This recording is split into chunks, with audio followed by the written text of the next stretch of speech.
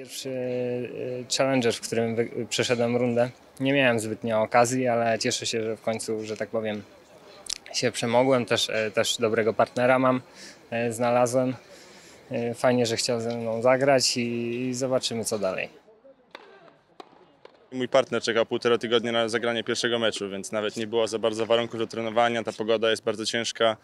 E, Nie jest to uzależnione od nikogo, nie jest to nikogo zła wola, ale po prostu jest ciężko zostać w turnieju, być w turnieju. E, My nie graliśmy razem w ogóle meczy, jest mało zgrania, dużo piłek było w środku, które, no, które nie zadziałały, które gdzieś tam e, on powinien wziąć, ja powinienem wziąć i nie było tego zgrania, które jest gdzieś tam na co dzień z Szymonem, jak gram. E, no i co, no zabrakło tego zdecydowania w kluczowych momentach, znania, obeznania partnera i, i tyle.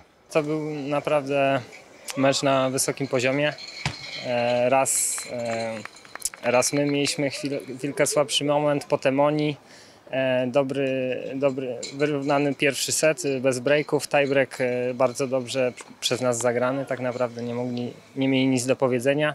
Potem ja raz e, trochę dałem ciała w jednym gemie, e, zrobiłem dwa podwójne, zmieniliśmy strony na drugiego seta, może nie powinniśmy tego robić, jeszcze to przedyskutujemy przed kolejnym meczem.